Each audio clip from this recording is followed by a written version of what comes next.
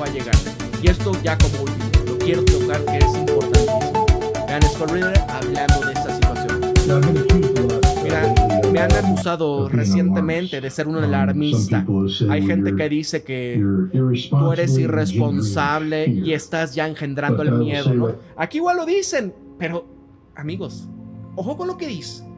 A veces hay gente, ¿no? Quizás como lo dice alguien que habla en inglés, quizás esta gente lo considere un poco más, ¿no? Ahí veo que se ríen, les digo, de repente, ay, yo pensé que ya se iba a acabar esto. No, o sea, porque son babosos, pero ven, si tú no estás espantado hasta la muerte, entonces tú eres el problema y yo no soy el problema. Si una guerra nuclear y los prospectos para una guerra nuclear no te espantan, no sé por qué estás aquí en este foro, no sé por qué estás... ¿Qué tratas de completar? Literalmente, no hay otro problema a día de hoy. No hay otro problema. Y quiero enfatizar esto una vez más porque sé que hay gente que se siente fuertecita y que hay otros problemas por ahí, pero sabes que no hay otro problema a día de hoy más importante que prevenir una guerra nuclear. Y casi tuvimos una la semana pasada.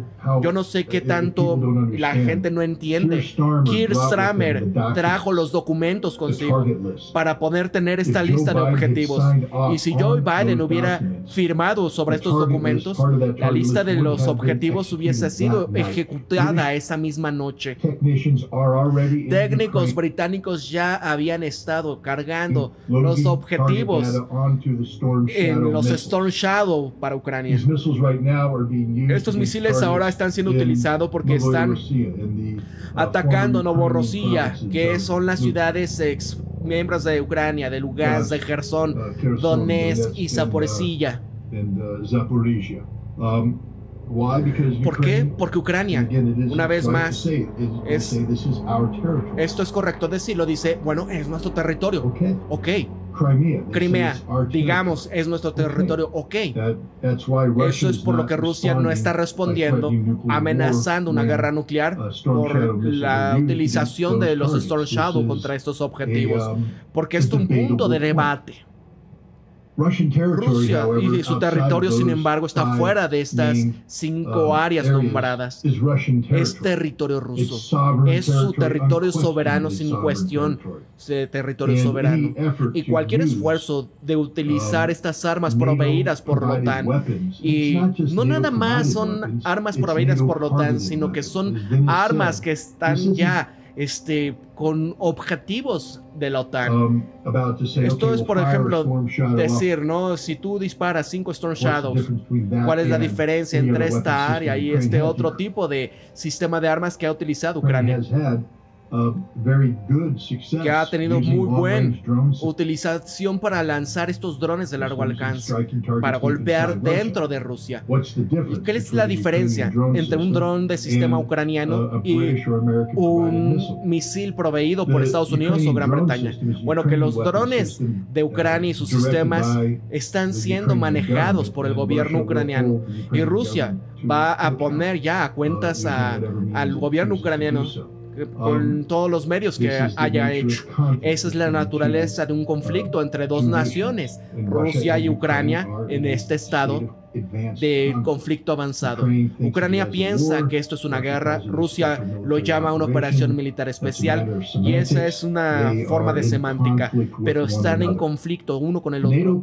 La OTAN dice que no es parte de este conflicto y aún así cuando la OTAN provee estos sistemas de armas, solamente van a poder golpear los objetivos cuando los objetivos han sido procesados por la OTAN solamente por estas entidades. Esto es lo que la gente tiene que entender.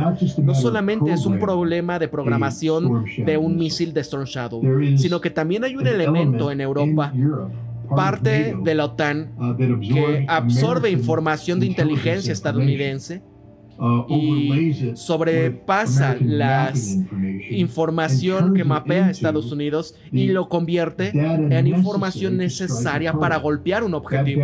Esa información se carga en el Storm Shadow porque el um, sistema uh, se comunica el Storm Shadow con un um, GPS Y esto no es en GPS comercial. Eso es el canal solo que puede ser bloqueado. Entonces usan canales militares que son encriptados uh, y están encriptados por Estados Unidos usando tecnología de encriptación estadounidense que fue cargada al sistema por estadounidenses, no por ucranianos. Ellos no tienen la facilidad de operar este nivel de criptografía de material. Así que cuando un Storm Es disparado en contra de un objetivo dentro de Rusia, literalmente está siendo pues poniendo, lo está atacando por la OTAN. Ellos están proveyendo el objetivo, facilitan la utilización de este sistema de armas contra el objetivo. Significa que entonces la OTAN literalmente está parte del conflicto. Y aún así, Keir Starmer, queriendo que Joe Biden firmara todo esto y decir, oye, permítanos usar esta inteligencia estadounidense para que podamos golpear los objetivos dentro de Ucrania utilizando los Storm Shadow y es un acto de guerra. Y es algo que lo que Keir Starmer firmó, en donde estaba implementándolo esa noche. No es algo que va a pasar ahí, no, sino iba a pasar esa misma noche. Y el sábado 14 pudimos habernos ido de este mundo todos. Es el punto que estoy tratando de hacer aquí para ustedes. No es una broma, no es un juego. Los rusos no están bromeando.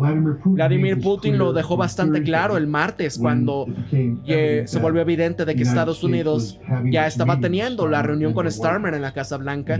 Y básicamente dijo de que si tú haces esto, vas a ser parte de un conflicto y Rusia va a tener que actuar de acuerdo y Dmitry Peskov, el portavoz, reiteró este punto, diciendo que lo decía bastante claro el presidente, pero quizás no tan claro, ¿no? El viernes, en la reunión del embajador a las Naciones Unidas de Bensaya, en el Consejo de Seguridad del ahí, reiteró este punto, iba a ser una declaración de guerra. Y si Estados Unidos y Gran Bretaña permiten a Ucrania utilizar armas proveídas por la OTAN para golpear a Rusia, el embajador ruso de para Estados Unidos, Anatoly Antonov, lo dijo. Mira, si tú piensas que un conflicto será limitado para Europa,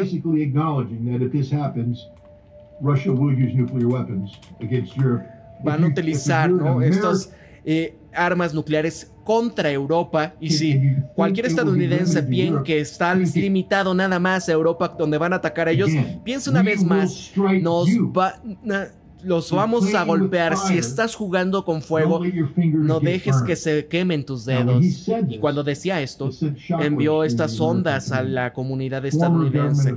Ex oficiales del gobierno, si sabes algo acerca de cómo funciona el establishment, hemos toda una situación de gobiernos, de oficiales que asesoran, que están en conectividad para poder estar en la administración actual. Ellos llamaron a Anatoly Antonov para preguntarle que ¿Por qué no haces la llamada al gobierno? Tenemos esta conectividad. Mira, yo estaba en la embajada rusa el viernes en la noche. Estaba ahí ante la invitación de Anatoly Antonov.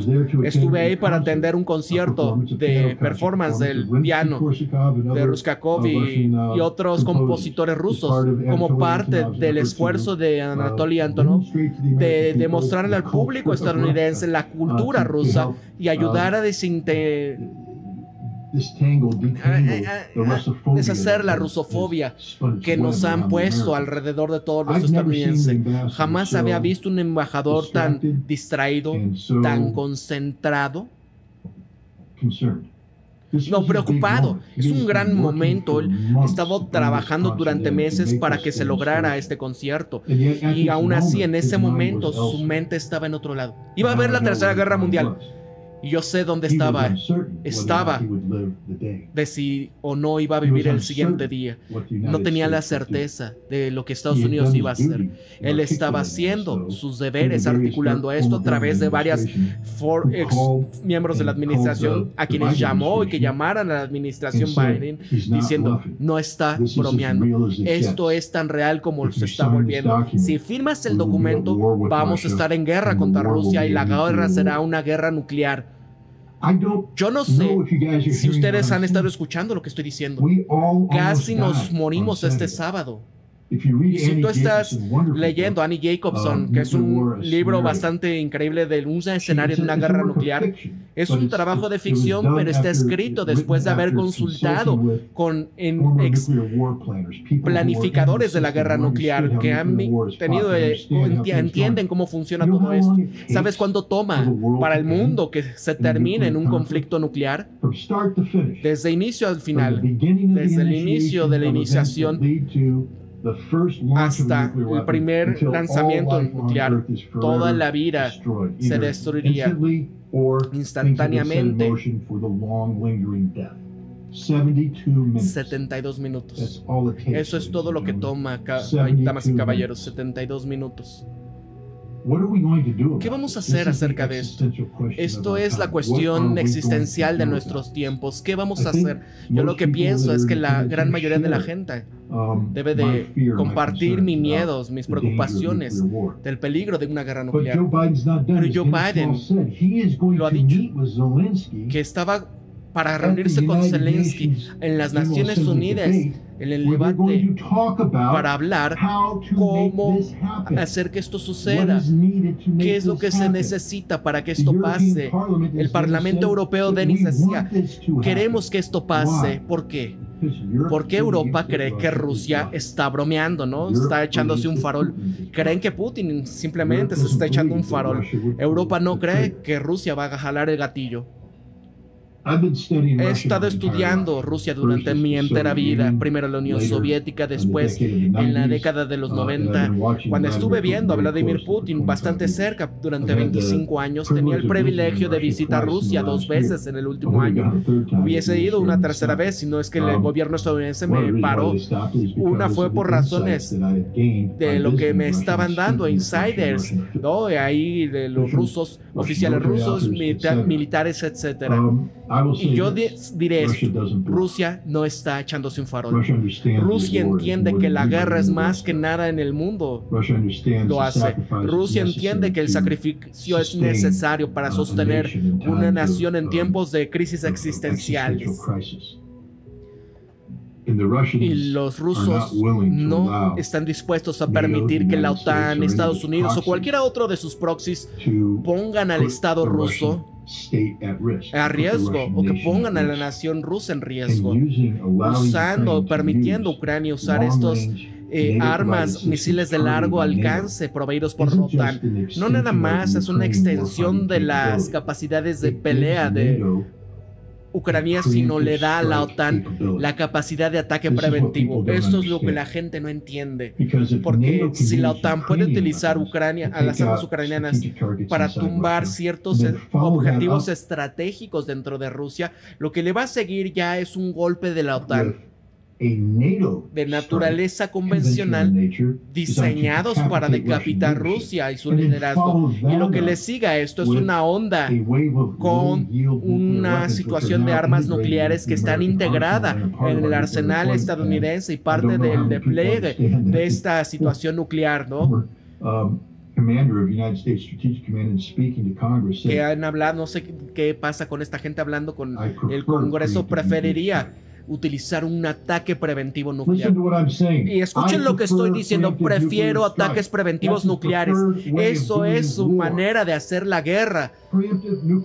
Ataque preventivo nuclear. Amigos, ¿qué está pasando en Líbano? ¿Vieron esa imagen el día de ayer? Yo se los dije, cuidado. Y ahora, si están escuchando los rusos, si están viendo a la OTAN y a Estados Unidos dándole la habilidad a Ucrania de lanzar la primera onda preventiva acción bajo la guía de que solamente es Ucrania, paralizando a los rusos para que venga una segunda ola, una onda de la OTAN que entre, decapitando y siguiendo el tema del ataque nuclear preventivo. Y los rusos van a decir, ¿qué vamos a hacer acerca de esto? Y lo que dicen es que van a dibujar la línea. La línea ya fue dibujada, ya no están bromeando. Esto es una naturaleza existencial. Hemos en una elección que se viene para Estados Unidos y va a ser una de las más importantes de nuestros eh, días, no por el tema del aborto, no por el tema de la economía, no por cualquiera de estas cosas que están hablando todos, sino porque si nosotros vamos a la elección Y claro, hay una muy buena oportunidad de que no vayamos a um, llegar. Hay una que ni siquiera lo hagamos al día de mañana, si se toman las decisiones que están haciéndose.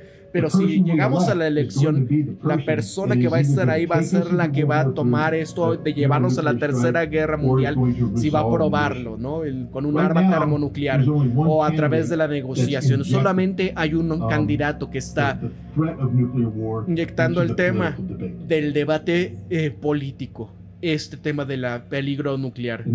Y ese, por supuesto, es Donald Trump. Uh, y hay mucha gente ahí que está diciendo que jamás van a votar por él. Esa es su prerrogativa. Pero si no quieres votar por él, por lo menos eh, pone el caso de que se inserte algo dentro del mensaje político, que tu candidato tenga este punto. Tenemos que insertar la discusión acerca de los peligros de una guerra nuclear en el debate político estadounidense de la elección debe de venir a la situación de la peligro existencial de esta elección. y no otros problemas, porque si hay una guerra nuclear y todo mundo se, se muere, pues no importará nada más. No podemos resolver todos estos problemas del aborto, la inmigración y la economía y otras cosas más si no va a quedar ningún país, si no hay ningún mundo. Tenemos que frenar esta guerra nuclear. Casi nos morimos la semana pasada, se los puse en ese punto. Se hicieron estos oficiales del gobierno ruso estos posicionamientos bastante fuertes y los presidentes, el embajador Biden hubiese firmado esto de los documentos Storm, los Storm Shadow hubiesen sido lanzados contra objetivos dentro de Rusia, Rusia hubiese respondido, empezando el ciclo de la escalada que ya llega al conflicto nuclear. Um, y tenemos que ya empezar a insertar esta sanidad en el discurso político. Tenemos que presionar al doctor, eh, ¿cómo se llama? Jill Stein para que responda a esto que ha escrito por RFK Jr. y Donald Trump Jr. publicado en la revista Hill, que fue puesto por primera vez en su campaña la necesidad de negociar este conflicto en Ucrania, ligándolo al peligro de la guerra nuclear, porque ellos están unidos. Tenemos a, necesitamos a Jill Stein que se comprometa. Necesitamos que Kamala Harris. No, Kamala Harris, Dios mío, no piensa, ¿no? Necesitamos que esto se convierta en un problema político y cuando se presiona esto, van a presionar a Biden no para involucrarse en estas actividades precipitadas y que llegue un conflicto nuclear. 28 de septiembre voy a tener una marcha en Kingston, Nueva York. Es la operación Down. Esto es unas simples preguntas para decirle a la gente que quiere salvar la democracia, Estados Unidos, el mundo y hacer este voto en um, noviembre que cuente. Lo que necesito que ustedes hagan es esto, hagan que su voto cuente, no le den sus votos a alguien más, no, no lo dejes. Haz que el candidato se gane tu voto. Y este problema que tú necesitas enfatizar para ellos es cuál es su estrategia para prevenir una guerra nuclear, cuál es su estrategia de traer la paz con Rusia, cuál es su estrategia para promulgar el desarmamento, reintroducir el desarme del diálogo entre Estados Unidos y Rusia. Y ahora solamente un lado está poniendo algo así. Necesitamos que todos lados lo hagan. Necesitamos volvernos que sea una situación de discusión nacional y debate nacional. Y muchas gracias a todos, ¿no? Ahí está, amigos. Esto es Scott Reader. Espero que, pues, ustedes no estén jugando, no estén bromeando con estas cosas porque no es una broma. La verdad, estuvimos a punto de morirnos todos. Y, ahí cuando veo, no sé, al Simon Pérez, al, al Rafa Larcón, que se ríen de estas cosas como si... O es disonancia cognitiva, o qué será. Amigos, para la Gran Humana MX se despide Pablo y recuerden esto siempre. Piensen críticamente, sean ustedes mismos, conózcanse de verdad quiénes son, sean empáticos amigos. Para la Gran Humana MX se despide Pablo. Cuídense mucho y pórtense bien. Hasta luego.